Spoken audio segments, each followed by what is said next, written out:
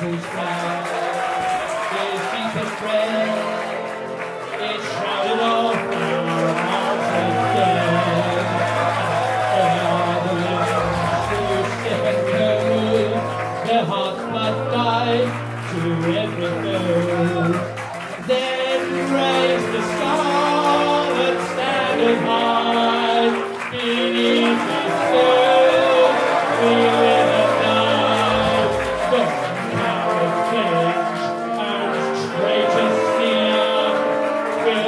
the red.